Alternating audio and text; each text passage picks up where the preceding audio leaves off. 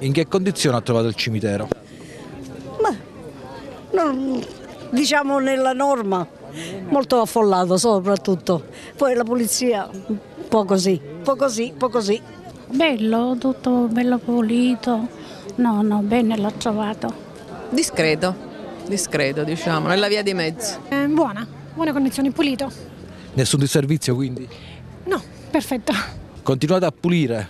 Sì. E purtroppo si deve fare perché abbiamo l'ordine così. Le persone dicono che tutto sommato il cimitero è in buone condizioni.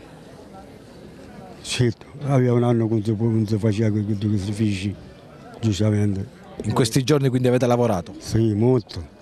Tutti questi siamo bene serviti. A presidiare il Camposanto le forze dell'ordine, quest'anno fiorai e clienti entrambi soddisfatti. Signora, quanto ha speso per i fiori? Sinceramente 6 euro. Prezzi abbordabili? Penso di sì. Con i giorni che siamo penso che siano più che abbordabili. Un prezzo giusto, no- non è stato esagerato, grazie. Prezzi dei fiori abbordabili? Beh, beh, sì.